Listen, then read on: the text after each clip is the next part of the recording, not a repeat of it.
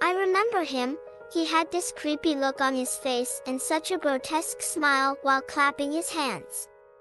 He scared me. I never knew why he was there, but he seemed to enjoy it. I was acting crazy to fit in, or at least I think so. We all had reasons to be locked up, he seemed like a bad joke. I tried to ignore him, however, each day his attention was fixed more on me. He stalked me, he harassed me, and he started to control my life in a way. I tried to report it, make myself heard, however, no one pays attention to a crazy woman. And for that reason, I did what I did, and I don't regret it. Someone somewhere said, even if the woman is sick in the head, she will have to be punished for having killed one of the nurses.